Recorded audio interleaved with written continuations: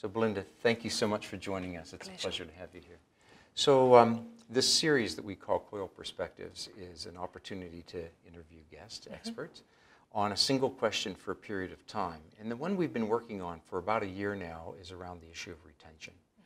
So I'm wondering if you could start off by describing to us what retention, what that word means to you, how you, how you frame it in your mindset. Well, I probably have to start from that point of it being contextual. And so I work at the Open University, and so when we use the word retention, we're, we're talking about probably the persistence of our students to stay within their programs and courses and to complete, to be successful. And so a lot of our effort and energy goes into retaining our students within those courses and programs, and we put a lot of support around that um, to enable enable our students to, to get from, say, you know, one course into the next course or into the next year in particular. So I'm going to suspect that there's an economic driver behind the way we do this for all of us, right? Yeah, I yeah. mean, it's expensive to bring them in. So, Yeah. so my sense is that you're doing it from the beginning phone call or that beginning Mm-hmm. contact with a student all the way through to their completion. And you have support services wrapped up. Oh, absolutely. But it's not just about the economic driver for us as an organisation, because it is that as well. Um, but it's also for the students, because they're now paying fees. And so in the UK Oh, context, not dissimilar to here, you know, fees are a big part of a student's loan and debt. And so you don't want a student, you know, accruing a debt when they haven't been successful. You want them to be successful. So there's two sides to that. You know, not only the institutional driver, of course, it makes sense for us to have our students complete, um, but also for the students, for them to be successful as well. They want to know that we're doing the absolute best we can um, to keep them in the system as well and to be successful. Do you, I'm just curious here, do you find out from the student when they enter your programs of what their goals are? We've had conversations here many times about, well, what's a successful student? Perhaps mm-hmm. they only wanted that one course, or maybe they only wanted the one module in the one Yeah, yeah. course. And so, have you wrestled with that? We do because the government um, puts on us um, particular requirements, and, they have a definition of what success looks like.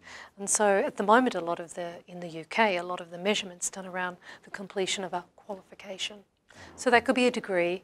Um, primarily, it is the degree. And so, similar to what you were just saying there, we have students who, um, you know, only come in for one course or may only come in for a certificate, but actually they don't get counted in the system. And Oh, so that they may well be seen as failures, even though they've actually been quite successful because they haven't completed a degree. Yeah. So we do struggle with some of the policy environment sometimes Right. and how the government defines what success looks like.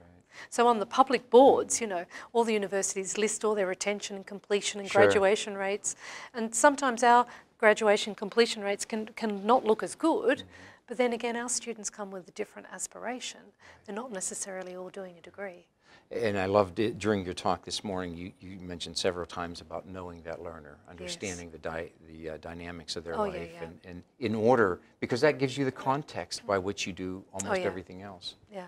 I always say that, you know, a student who comes to us, um, you know, is already highly motivated. And so they've, they've already sort of just made that decision, oh yes, I'm going to come and learn. They're probably giving away about seven years of their life to study.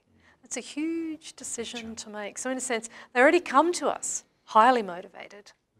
Um, but because we're, we're that open access university as well, they come to us sometimes with less than an A level. Um, they're working, potentially full time or part time. They're carers. They could have a disability. And so they're signing up for a program with all sorts of things going on in their lives. And we're an open university. We see that, well, that's our, that's our segment, that's our market, Sure, that's what we do. And so our job is to make sure that we keep those students motivated, support them as much as we can to reach their destination. Okay, so that's a perfect, perfect cue up for the second question, which is if you had all the resources at hand that you can bring to the table, what, what would a system look like in your mind that would help a student reach those goals, Yeah. be, su- oh. be successful, retain, and be persistent? I'd like them to have a life coach. Hmm. I think putting a life coach beside them, who's I guess becomes a study coach as well, but but does all sorts of other things, you know, that helps support them in their the way that they're changing as an individual as they go on this learning journey with us, how they manage their their lives and look after their kids and and just sort of keep all of that together. And at the same time, keep them on that study journey and help them make the right choices in terms of what kind of courses they need to do. Keep them studying, you know, Sure. check up on them Sure. you know, and just sort of say, well, you know, how many hours have you put in this week? Have you done that exercise yet? And, and to kind of be a little bit on their case in terms of that, you know, that, the way coaches can be. Um, So can I take from this that you'll be hiring 200,000 life, life coaches? Wouldn't that be wonderful? But we could. I know, I I mean, there's a, there could be a way to do that. And I mean, what about the alumni? I don't reckon we've tapped the alumni fully yet. I think you're right. You know, there could Um, be potential there. Well, as you were talking through that, I was thinking back to your talk and the amount of data that we have that could that could feed that, automate it to a degree. Yes. Uh, you can have one life coach who has maybe 200, yeah, yeah. you know, because they're they're touching in at different data points. So there's a way to get to Well, that. could there be a Siri? You know, wouldn't it be amazing yeah, for yeah, there to be yeah. a Siri of some kind? I don't know what that would be, but some kind of Sure. intelligence that, you know, maybe the holograms will get really good. Now it will pop Siri and just sort of say, Belinda, have In you done your study today? Yeah, you haven't been on the VLE, you know, what are you doing? And so there could be something that could be quite exciting with the technology that could help with that too. You know, you just triggered a thought for me. We, we often talk about personalization Mm. as a uh, as a student, you know, personalizing the learning environment. Mm. But think the other meaning for me, personalization has always had is exactly that life coach idea. yeah. Someone who knows you, cares about Yeah, you, yeah. is that concierge, is is thinking forward for you just enough, not to do the work for you, but just No. bringing you along.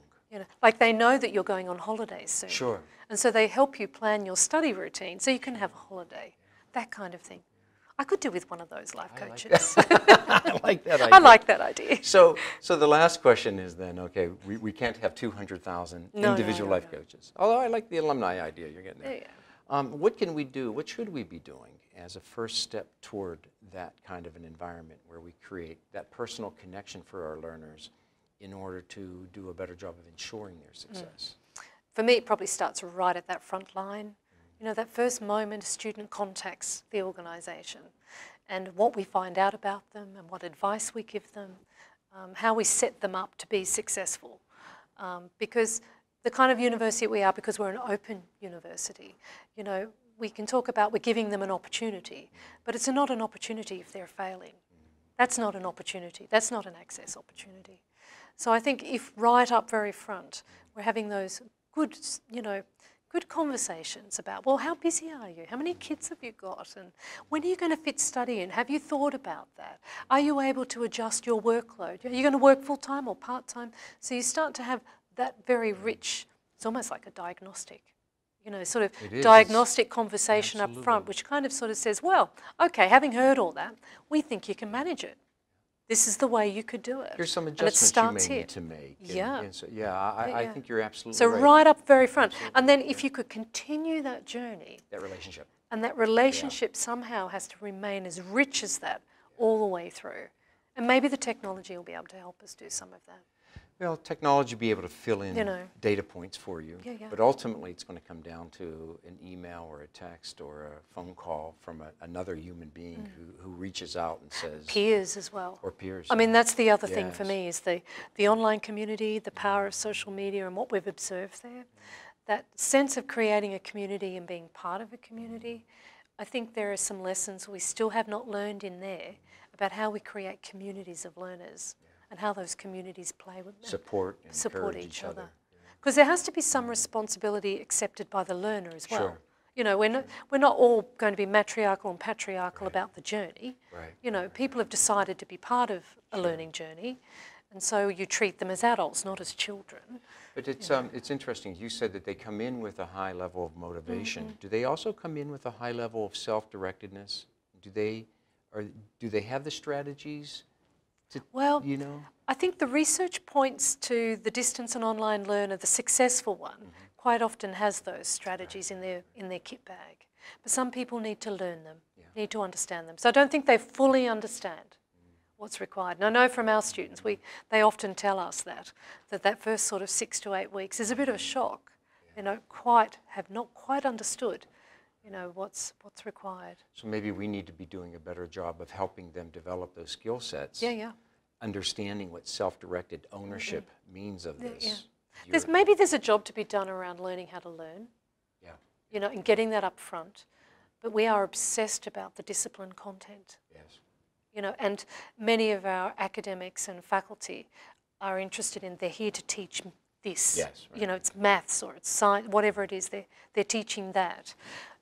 You know, there are some very good and talented teachers who manage to weave in amongst that, Sure. learning how to learn. So they have to shift from I'm here to teach math to I'm here to teach students. Well, maybe, you know, getting that sort of balance, Mm-hmm. you know, sort of balancing that up in a new way. I think, especially in that online and distance environment, I think you do need to establish up front, you know, that, well, what the expectation is and helping people understand. It's the meta process Sure. of being a student. The exciting part of it, and then you see them reach their goals and success Yeah, and yeah. retention. So Yeah, absolutely. Terrific. Thank you so much. No, no, it's my a pleasure. Thank, you. Okay. Thank you.